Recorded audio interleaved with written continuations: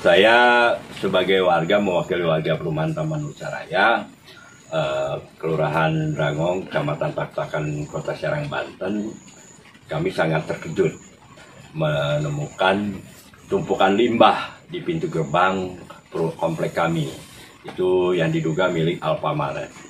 Kami berharap pihak Alfamaret bisa kooperatif atau beritikat baik eh, terhadap kami sebagai warga perumahan Taman Nusaraya dan kami kami juga merasa tidak mungkin perusahaan sebesar Alfamaret tidak mempunyai pengepul limbah-limbah mereka itu. Berdasarkan undang-undang pun mereka tidak boleh membuang sembarang gitu.